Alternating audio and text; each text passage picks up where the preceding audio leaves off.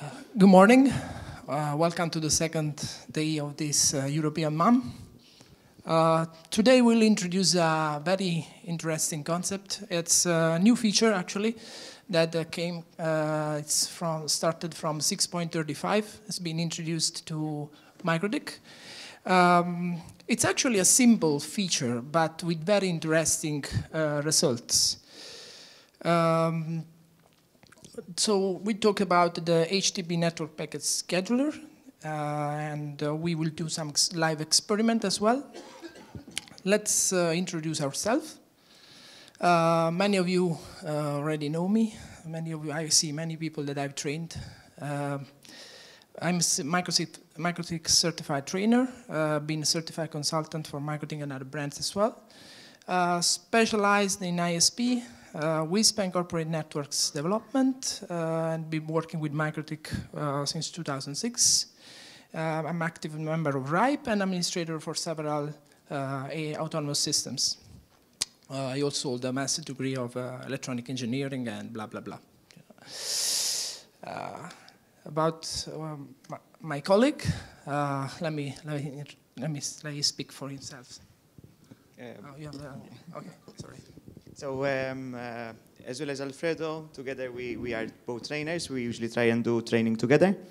Um, uh, certifications, we're certified in uh, pretty much all, all the courses covered by MikroTik at this point, as well as IPv6. Um, certified um, consultant as well for Cisco with CCNA and CCNP, as well as a background in administration, uh, Microsoft mostly.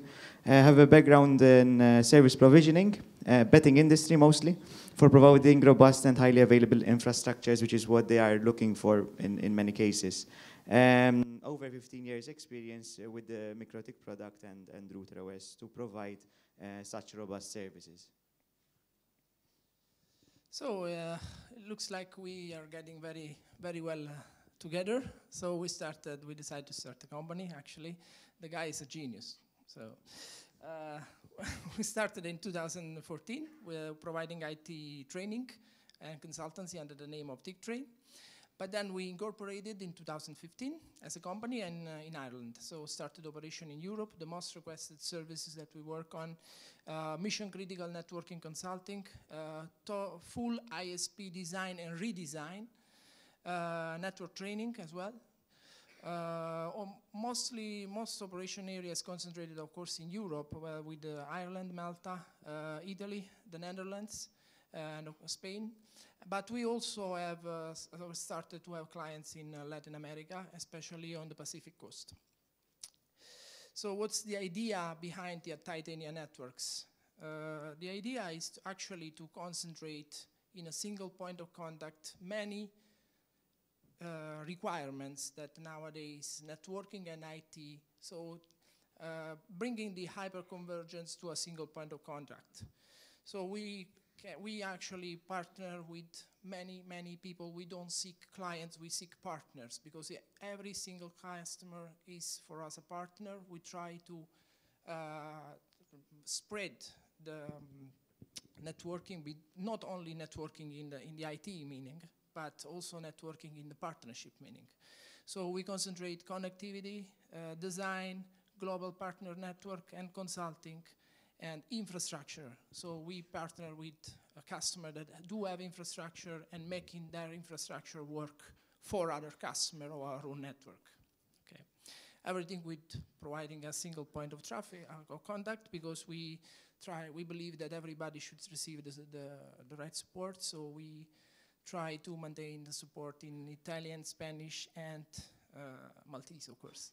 Yeah. Uh, a little bit of uh, some of our customers, uh, as I told you, mostly Europe. Uh, we have um, some in Ireland, Italy, Malta, and something in Latin America, especially focusing on Mexico. So, uh, finish the introduction, let's go uh, to the presentation. Uh, with this presentation, we try to seek, we try to explain the concept that are involved with HTB and uh, the new feature that have been introduced, what we can achieve with this new feature, and trying to get an holistic picture from the available documentation, because there is a very nice documentation on this.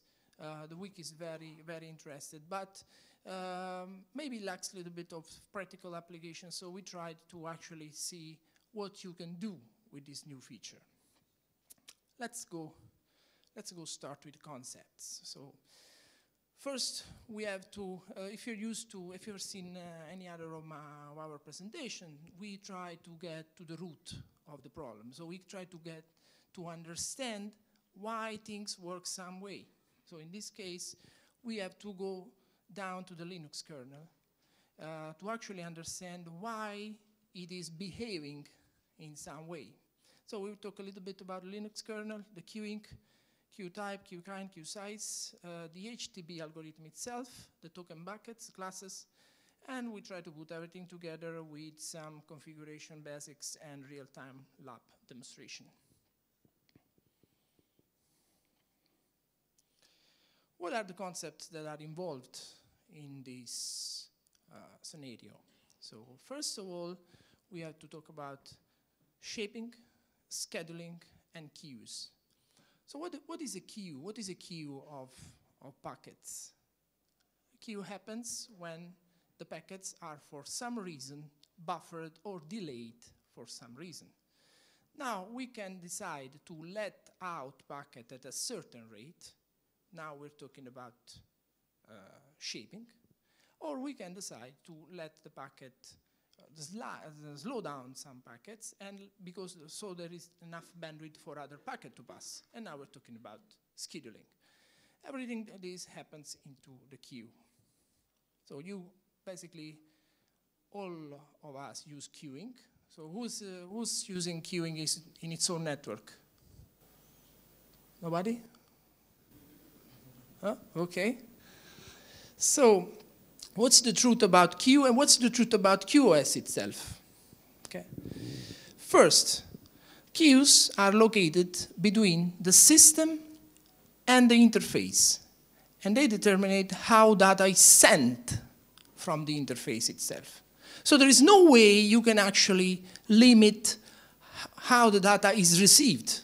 So there is no communication between the interfaces the, of, the other, of the other end. So you cannot tell the other guy, hey, send me packets slower. So if you are a router and you control both interfaces, you can actually shape in the outgoing interface. But there is no way that you can actually tell the other router, hey, send me packets slower. Okay, so you can control how that I sent out on the interface. And we will make actually a proof of this. Okay, queue can be used to buffer the excess of output bandwidth to prevent packet loss in case of burst traffic. So in case there is a traffic that acts like a, very high burst, you can buffer that traffic so the hard, because the hardware can take that much traffic. So you buffer it. So you send it little by little. And that is generally a good thing. Generally speaking, that is a good thing. Now, TCP, because the way it works, it will try to, to fill any queue you offer to it. Have you ever tried the bandwidth test? The bandwidth test tool on the MikroTik. So, what's the difference when you try it with UDP, and what's the difference when you try with TCP? When you try with TCP, it will start as high as it can go, right? When you try with UDP, it will ramp up. Isn't that way? Yeah? And that's the reason. That's the way TCP works. Actually, that's the reason why queuing works better on TCP as well, because TCP will downregulate itself. Okay? So queues will create artificial latency, and that affects interactivity. For example, when your keystroke must traverse a long queue. Try to put a long, very, very long size queue on an SSH session. So you hit the keystroke, and then it will take so long to actually be received from the other end. Okay, and that is generally bad. Okay, so let's try, let's try to understand why we cannot send, we cannot actually shape what is sent to us. So shall we try the lab? So little, very small lab.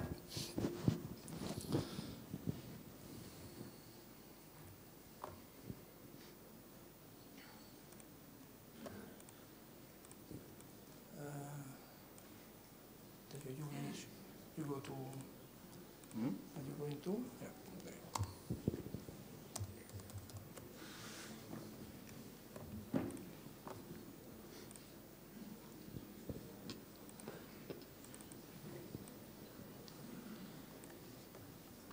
Simple key. So what do we have here? So what we have here at the moment is we have uh, two small MikroTiks. One is configured as a source. The other one is configured as a target. We're going to do some lab uh, during our presentation to show the, what, what's happening. And in our case, we're not going to use the bandwidth test tool, in this case, as the first test, but we're going to use the traffic generator, where we have uh, predefined uh, a packet over there to be sent basically between the two devices on Ethernet 4. So these are con- connected back to back on Ether 4, Ether 4 to Ether 4. And what we're going to do, we're just going to send traffic in one direction to saturate the link. Okay? So if I don't have a queue and I start the traffic generator, I can set the speed here. Let's say we set it to 15 megabits. Okay? I'm going to see okay, that over here, one second. It's trying to saturate the link. Okay, the, the amount of traffic is coming, it's not refreshing as, as accurate, but there is 50 megabits of constant traffic going through. Okay, now what I'm going to do, I'm going to create a simple queue. Okay, on the other side, let me lower it down to 10. Okay. So what's happening is that on the receiver side, even though the simple queue is showing up as red, meaning that it is completely saturated, uh, it's trying to limit the traffic to 5 megabits. It's trying to do something. Unfortunately, on the interface, on the receiver end, I'm still receiving the total traffic being sent by the source. This is exactly to explain that the way QoS works, it has to be stopped when it's leaving an interface. So if I'm on the other end, if the data is already sent to me from the source, there is nothing I can do for me to block the traffic. So even though the queue is trying to block it, this UDP traffic is coming, is hitting me on the interface, it's still coming at the maximum speed that is being sent. If it's being sent at 10 megabits, I will be receiving it at 10 megabits, and the queue can do nothing about it. Actually, we can see it over here in the traffic graph. Okay, so we'll start. Okay.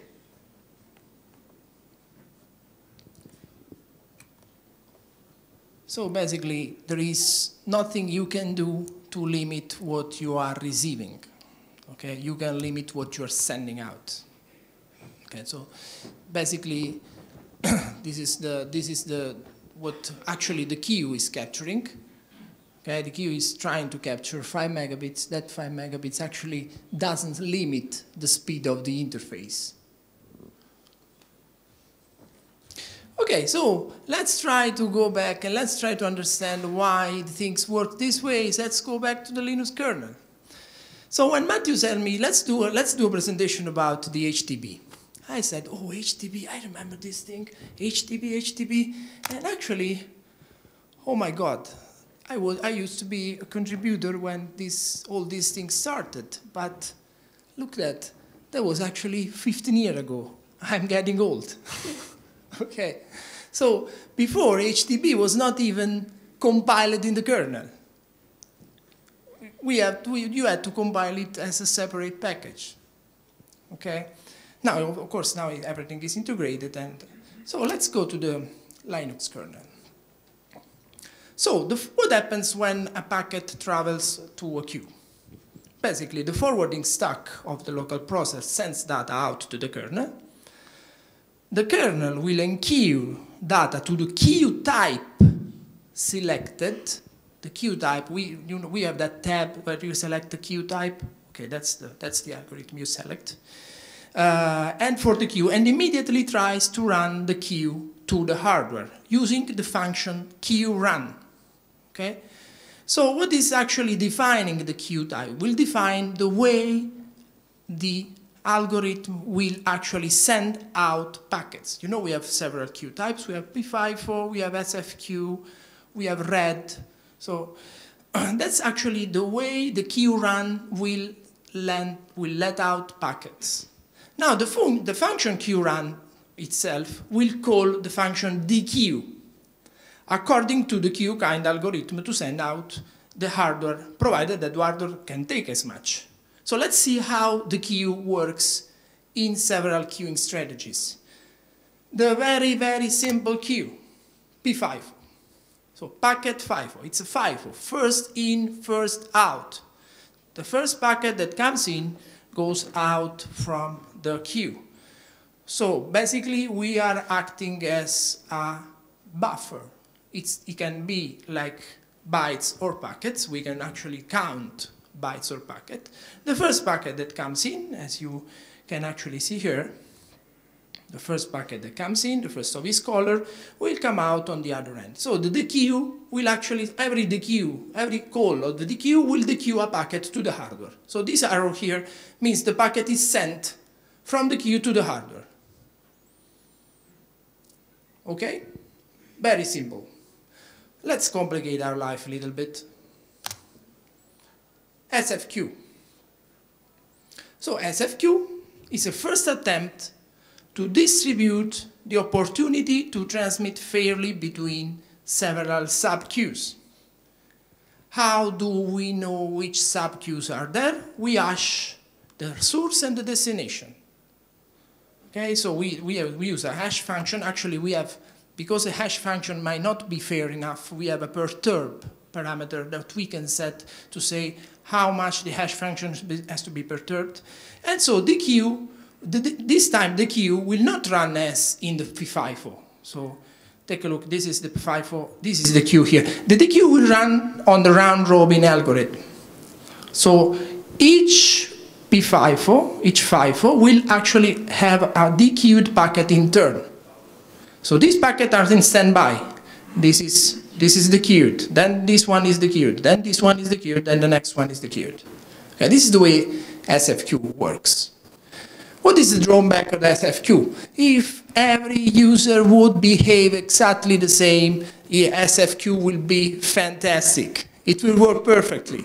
The problem is when one of the customer makes 1,000 connection and the other one makes one. The, the one customer with 1,000 connection gets 1,000 turns. So it will dequeue 1,000 times, and the other one will just dequeue one time. So that's the issue with the SFQ.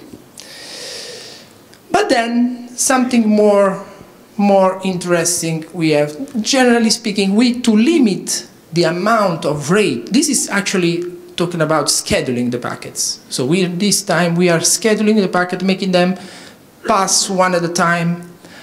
But what about having the packet pass at a certain specific rate. Do, do that in the past. There was an attempt, it was called actually CBQ. It was so complicated. You had to calculate the average of the packet depending on the packet size and the timer milliticks of the, of the kernel. Was very, you know, was a very complex system because it's so complex to shape based on what is actually passing in the interface. So what, what is the solution? The solution is to use some artificial algorithm. We use the tokens. To control the rate of dequeuing, counting the packet bytes key dequeued is a complex and is timers dependent. Instead, calculating the current usage uh, instead of calculating the current usage, one method used widely in traffic control is to generate tokens at a decided rate and only dequeue packets or bytes if a token is available. Basically, we are generating something that says, we give you a ticket. If you have a ticket, you can go. If there are no ticket, you wait. And here it comes the simple token bucket filter. We have the same queue as before. See, it's actually a FIFO. But now the, the queue function of the kernel will work slightly different. So we have a parallel process that injects token. Token means nothing. Don't Token, it's virtual ticket. Okay? We are generating token at a constant rate. We can generate something constantly because we have the kernel timers that will run by itself on the clock itself. So we're generating token the, we can generate token at the rate we want, basically. So we generate token. There is a decision here that says, uh, are token available? Yes. Packet is dequeued. Are token available? No. Then we wait until there are tokens. What's the result of this? Packets are only transmitted if there are sufficient tokens available. Otherwise, packets are deferred. We are introducing an artificial latency on the link. That's the, that's the reason, that's the function of the token bucket filter. Okay? But until now, we, are talk, we just talked about tokens. What about the bucket? Okay? So, in case that the queue does not need tokens immediately, what happens to those tokens? They are actually collected until they are needed. So we have some reserve, some, some, some uh, uh, place, some bucket, where we store all the tokens that are sent, that are generated, if in case they are not used. Okay, that's called the bucket. Now, the, num the number of unused token that can be stored depends on the size of the bucket. The larger the bucket, more tokens we can store. Of course, it doesn't make sense to store tokens forever because otherwise the, the throughput will tend to, to, to the infinite when we start. Okay, so we store tokens up to the tokens, token, up to the bucket limit. And actually you can see it here. So the, the token bucket actually acts as a reserve of tokens that are used in case the bandwidth, in case the packets are not using it. Uh, a queue that has, that has token available can initially dequeue a larger number of packets or bytes before tokens are depleted. Why? There are no, so no packets is being sent. Tokens are still coming because they, they, come, they still come at a constant rate. So we fill the bucket. If packets start coming, when they do start coming, we have the bucket full. So we start every dequeue, every call of the dequeue function will succeed. Will actually dequeue a packet. So it will dequeue packets as fast as it can until the packet is empty.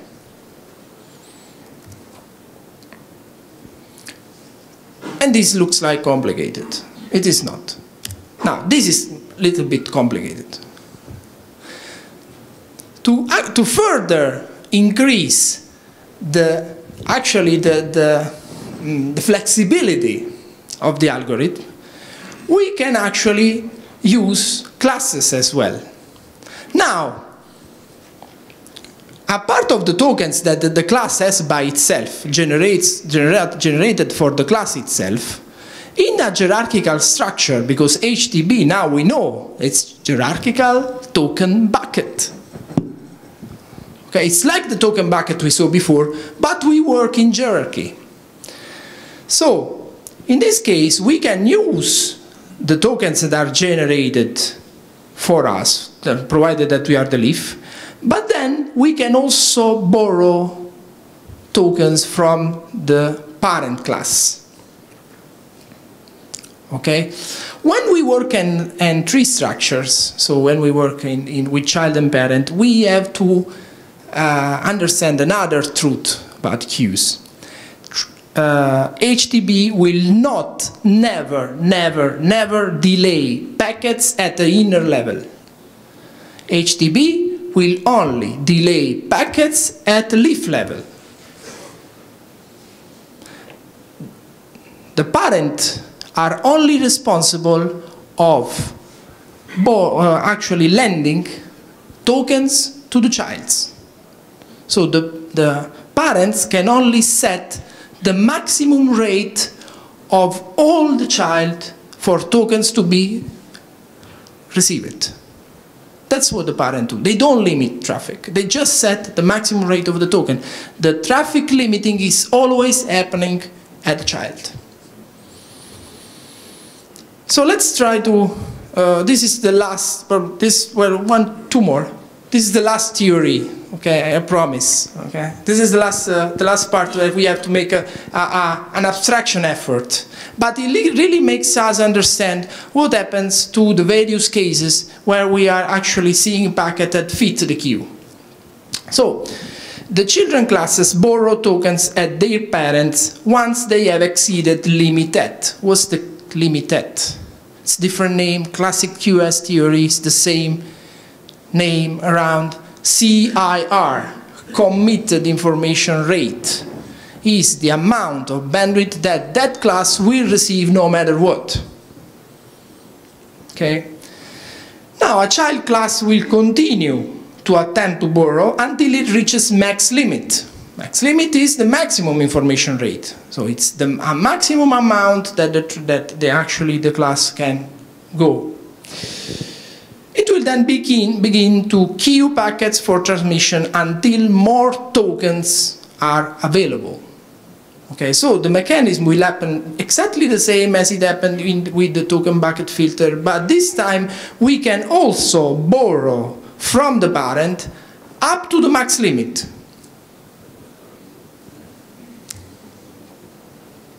So what are the conditions here?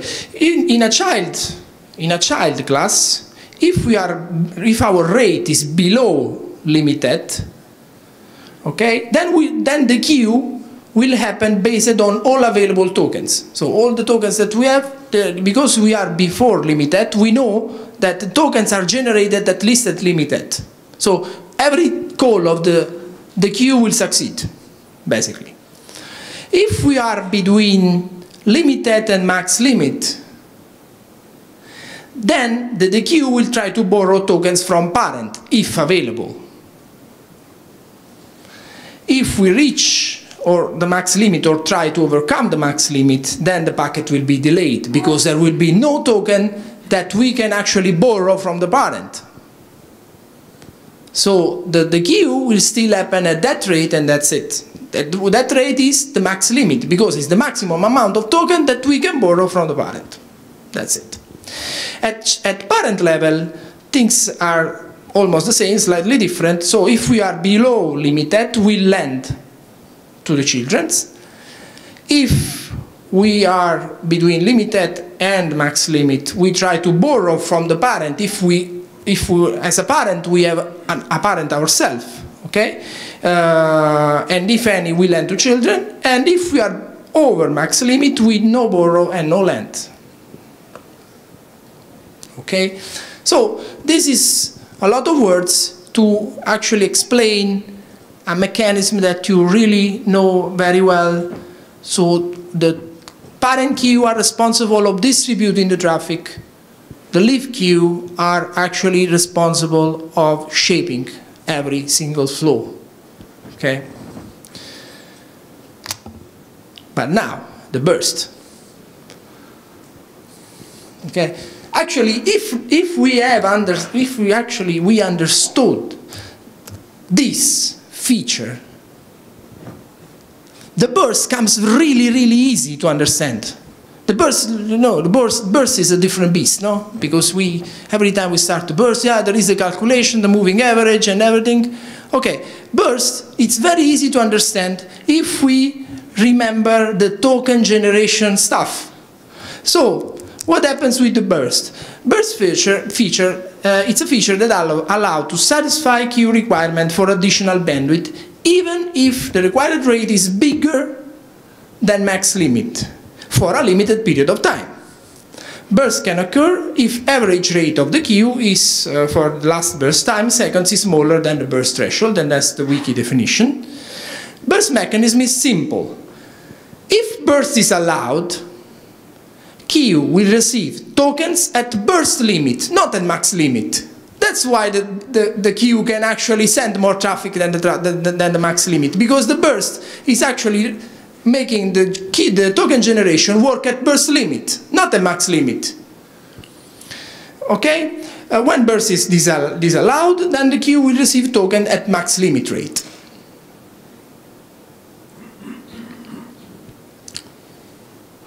So, putting everything together. at the end of the day, the amount of readily available tokens in the child class will define its behavior. We can set how fast the, the token replenish with the max limit or with burst limit. Until RouterOS version 6.35, bucket size was hard-coded to one-tenth of the max limit. But now, this will default, uh, that's why the, now, by default, is set to 0.1. Okay? But now it will accept any values from 0 to 10. So we can actually change the bucket size.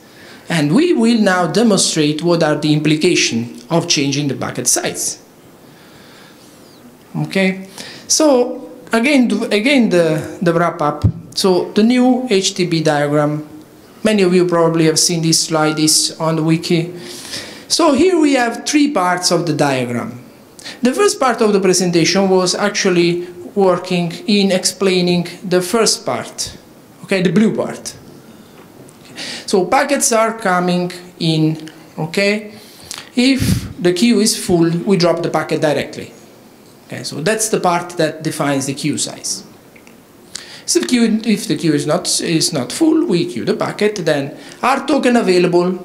So this is the token inject, this, this is the token generation injection mechanism, the red part. We are injecting the tokens to the system. If tokens are available, then the packet is sent to the hardware. This is the hardware. If tokens are not available, then packet is queued.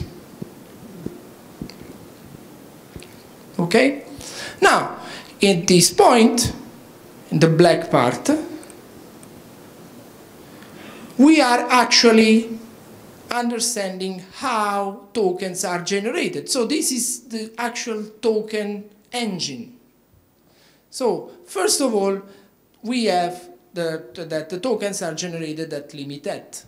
Okay, because remember the limit-at is going to be uh, actually it's the, the is going to observe limit-at no matter what.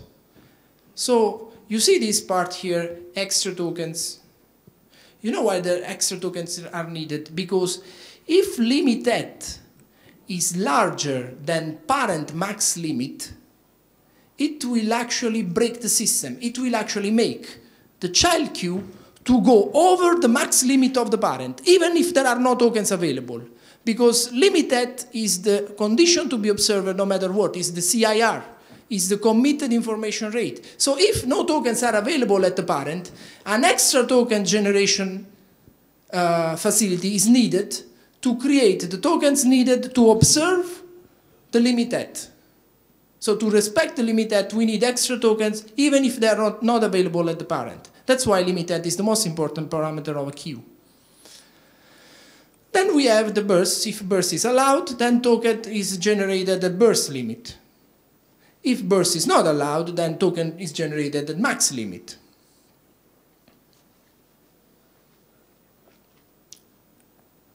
And this is the part that we are interested in, that's the bucket size. So the bucket size is how, how many, uh, so how many tokens we can store, we can accumulate in the bucket and what will be the difference between having a large bucket and a small bucket? So what do you think will happen when we have the when the bucket is full? When the bucket is full of tokens and we start transmit packet, what do you think will happen? Come on.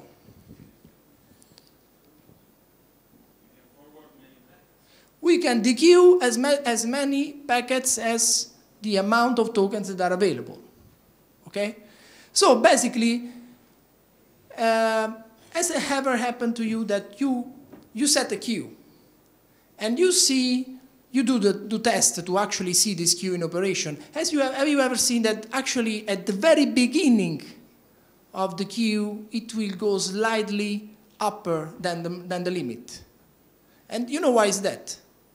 Because of the bucket, exactly even if it was hard-coded, then tenth part of it was actually uh, allowing the higher amount of traffic for a short period of time. But now we, want, we would like to know how much traffic will pass unrestricted. Okay, so how much traffic will pass unrestricted? And this is calculated with this math.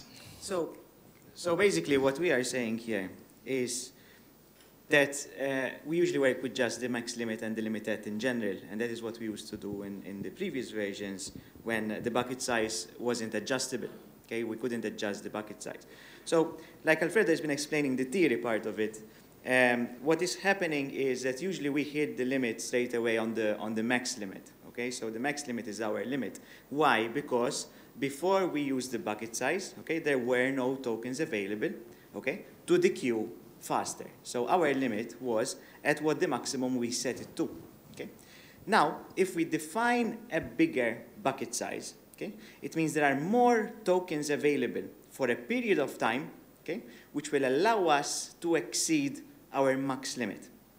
Okay, so that is what we are basically saying. And the formula to basically calculate this is that the bucket capacity is equal to the bucket size, okay, times the max limit we set. Okay? So let's take an example. Okay? So if we set, okay, using the default, which is what we have in MikroTik at the moment as a default value, which is the same as what we had in the previous version before uh, 6.35, is a value of 0.1. So if we take 0.1, multiply it by a max limit of 10, for example, what we get as a result is 1 megabit. Okay? But the 1 megabit is not bandwidth. We're not talking about 1 megabit of bandwidth here, okay? Uh, but we're talking about 1 megabit of data which can flow through at the maximum speed possible. So when we start a bandwidth test, okay, what happens is that 1 megabit of traffic will try to burst even more than the 10 megabit limit which we have set. Obviously, 1 megabit is consumed very quickly. Because the 1 megabit is consumed very quickly, okay, what we see, we see a very tiny spike, really small spike. Okay, so we have here um, uh, one of the slides. Okay, so what we have over here is that we usually see a small spike over there. Why? Because when we started the bandwidth test, which tried to go at the maximum speed possible, one megabit of that traffic tried to go even faster than our max limit of 10. And this is calculated at the previous formula, okay, which by default was 0.1. Okay? And 0.1 is pretty much relevant to 10 um, to 10% of what we set as a max limit. So let's say I have a 50 megabit max limit, okay? With using always the default setting, using previous versions of MikroTik OS, I start a bandwidth test. I expect to see at least that I get a spike which reaches 10% more than my max limit. So I should see a spike up to 55 megabits for a split of a second, and then it goes back to 50, which is my max limit. And this is why we see that in many bandwidth tests we did when we used to run bandwidth tests to test our queues, and really we didn't understand why we had this initial spike at the very beginning. Okay? Now we have the advantage with the bucket size to actually tune, tune that spike to something larger by making a bigger bucket size. Why? Because if we make a bigger bucket size, it means we have more tokens available for the, the bandwidth going through, to be able to pass a faster throughput for a certain period of time. Okay? So what we can do, we can actually try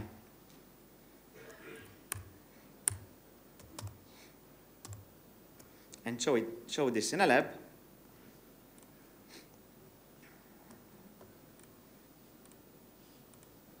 And this time we're not going to use the, um, uh, the traffic generator, Okay, but we're going to use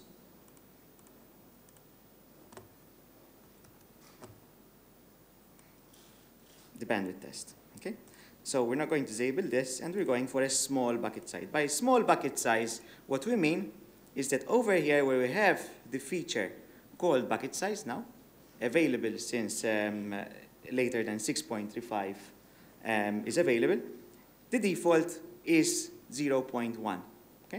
So what we're going to see now in our bandwidth test as a terminal.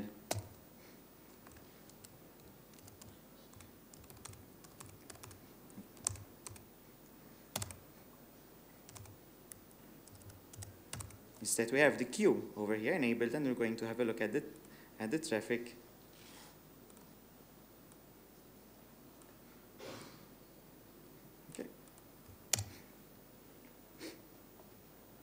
So what we are seeing here, obviously because of, of TCP windowing, it will take a bit of a, some time to settle down.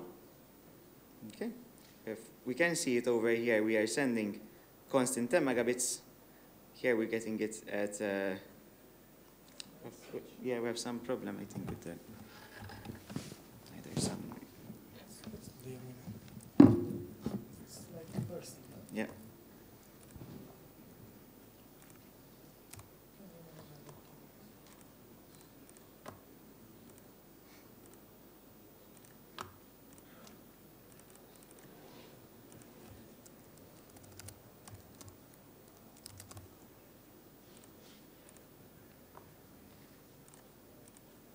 Okay.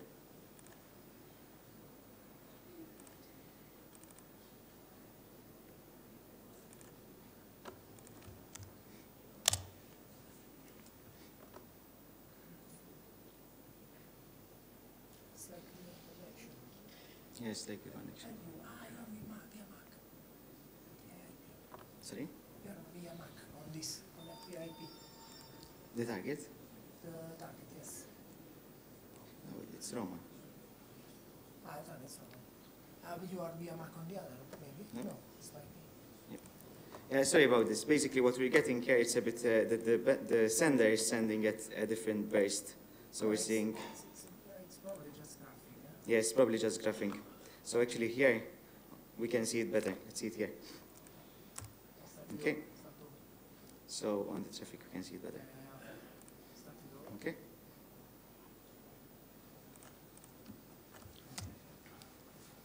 Actually, I want to do it TCP again. So, yeah. over here, we can see it clearer here. We had, a, we had the bandwidth going up, okay?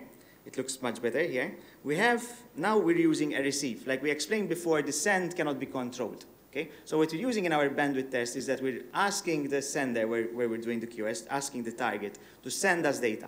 Since he is generating the data, leaving his interface, we can queue it. Okay? So over here we set a small bucket size, okay, a default bucket size with a max limit of 10. What we're seeing here, we're seeing that tiny spike, okay, which is explaining exactly this, which is the 10% of the 10 megabit, okay, gives us a 1 megabit, which is allowed to go through at maximum speed for a certain period of time. And that is the default functionality which we have. But now we have the option of fine-tuning and working further on that.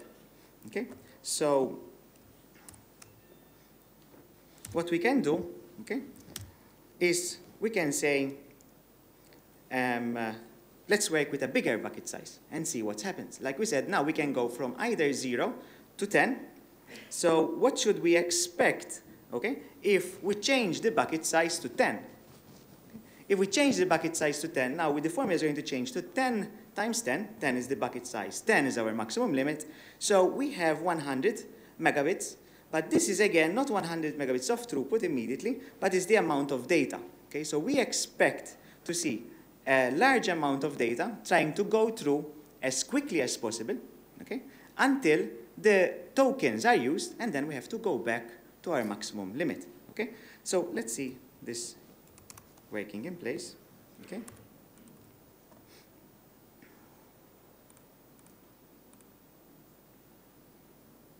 Okay.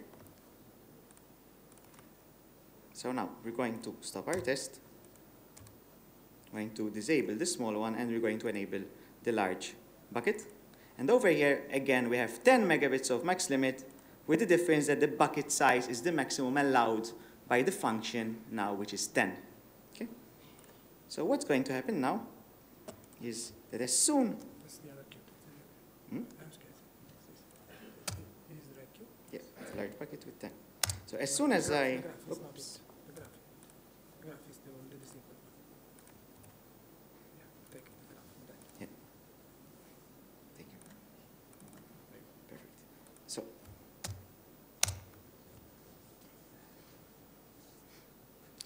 So as soon as I run the test now, you will see that even though I have a max limit of 10 megabits, Okay?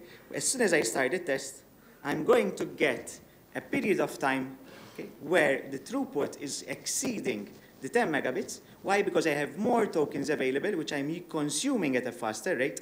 So in the part where I can see the graph going upwards, over there I've consumed 100 megabits of traffic, okay, faster than I should have, okay, because there were tokens available. Once I consumed the tokens, I went back straight away to my max limit, which is set to 10. So yeah, in this case, we are seeing that the, tra the traffic is growing gradually because we've changed our test to UDP. Okay? If we change our test to TCP,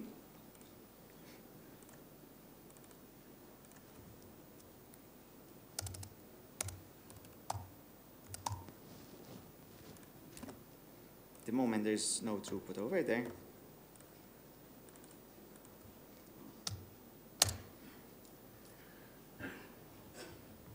we can see that immediately, because TCP tries to consume all the throughput, okay, we've seen the traffic hitting peaks of around 40 megabits for a period of time. So basically it went 40 megabits, 40 megabits like about um, trying to reach the 100. So basically try to consume 100 megabits of data okay, in the shortest time possible according to what I have available as an interface. In my case here I have um, 100 megabits interfaces, so the, fast, the fastest it could have reached would have been 100, which would have consumed it in a second. Okay? Until it got there, we have slightly more than a second over there until it consumed the 100 megabit of data, and then it went down back to the maximum limit, which is set to 10 megabits. Is there any, are there any questions so far on what we've explained and what we've demonstrated? Okay. So,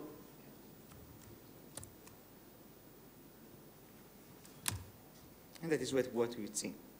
Now, we have another interesting question on our slide. Okay? The question says, what if I want a ceiling for the burst? So we had two scenarios. Now we set the maximum limit. So we've seen with UDP it, right, started peaking off, okay? And then it went back to 10. And then after that we tried with TCP. Again, it hit as very fast speed as quickly as possible, okay? And then once it consumed my 100 megabits, okay, 10 times 10 because I'm using 10 as a, as a max limit, um, uh, once it consumes that, it went back, back to the max limit of 10. What if I don't want my traffic to exceed a certain amount of throughput. Okay? What we can do, we can, we can leverage the, this, the, the, the hierarchical structure by using a parent-to-child relationship. If I use a parent-to-child relationship, then this, the spike we were seeing there, hitting 40, 50 megabits, we can reduce it to a speed which we want. And we don't allow that, but we still have the functionality to burst, and we still need to allow 100 megabits of data to go through the queue before the tokens have been depleted. Okay.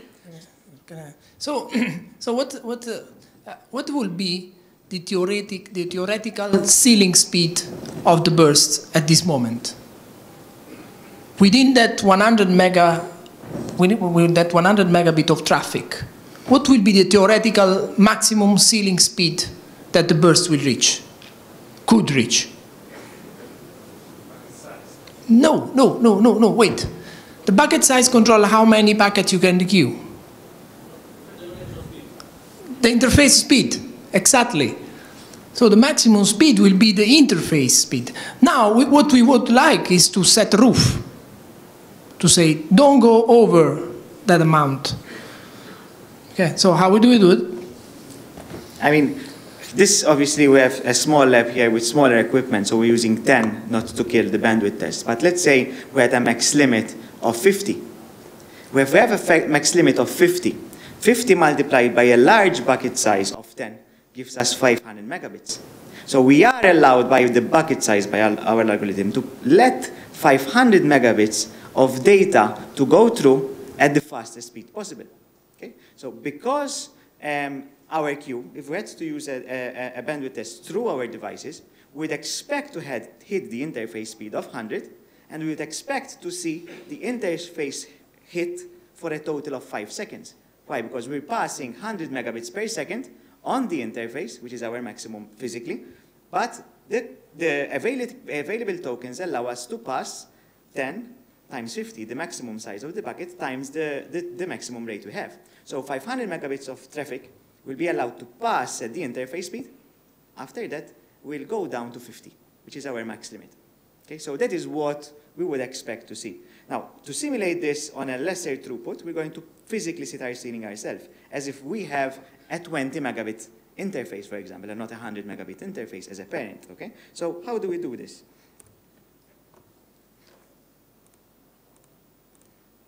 Okay, so from our side, we have created this structure over here, which is the parent-child structure, okay, where the parent, okay, just has the standard max limit, and the max limit is set to 20. We didn't change anything else in just creating this queue. It's a 20 megabit hard limit with a bucket size of 0.1.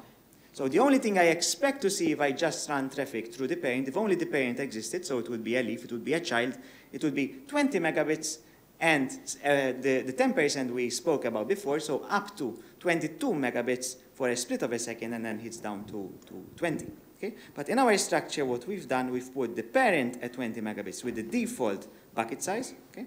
and the child, okay, which is at 10 megabits, but with a bucket size of 10, meaning that we should be allowed to pass 100 megabits of data at the maximum speed possible. But our maximum speed possible now is 20. Okay? So what we expect to see here is we expect to see um, depending on UDP or TCP, what, what we're using, TCP will slightly take a bit longer to settle because, um, uh, because, because of, of the TCP structure. UDP will start gradually to hit the 20, but we expect to see a 20 megabit throughput for an average of five seconds because we need to consume 100 megabits of data. So that will take five seconds at a rate of 20 megabits. And once we've consumed that, we're going to go down back to our maximum limit. Okay?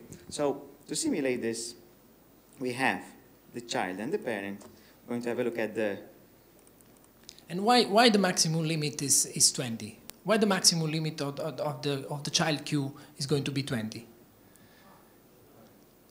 Hmm? For, for the burst, for the burst time, for the, for the amount of time that is allowed to burst. Yeah, they said.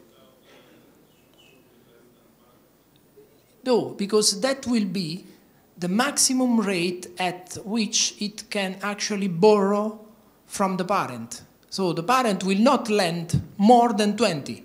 So the bucket can be as large as you want, but it will replenish at 20.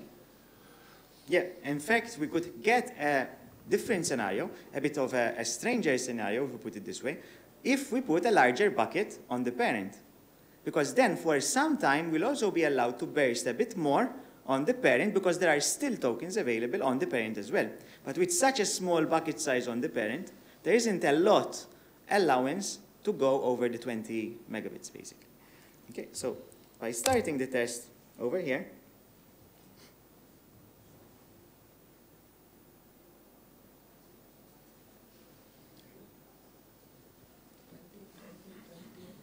no, we didn't. 20, 20, and down. So over there, we couldn't exceed 20 because 20, like we are saying, is the hard limit with no available It's uh, maxing out the CPU already. And yeah, we have a, it's, it's a CPU is maxing out over there. But uh, what we've seen, we've seen an explanation of what we, we, we're explaining here, that we're getting the 100 megabits we calculated from our algorithm. Again, it's simple. The algorithm is simple. It's just taking the bucket size, multiply it our, by our max limit. Okay? With such a small bucket size, the default, we don't have as a big effect. There's just the 10% we see in the spike in the beginning. With a bigger bucket size, we can see the effect. 10 times 10, we're allowed to pass up to 100 megabits of data, okay? With a limit on the parent of 20, we can only allow to pass 20 megabits for approximately 5 seconds. Okay? Once we've hit the 5 seconds, then we have to go down back to our maximum. Why? Because as a child, we don't have any more tokens available uh, at a faster rate because the bucket has been emptied out and is only replenishing at the speed of our maximum rate. Any questions so far?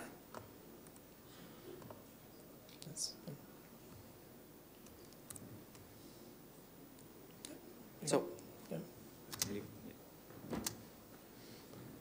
So the bucket size will work like burst without a burst limit. To be able to force a ceiling, we can set a max limit on the parent queue. That's exactly what, we have been done.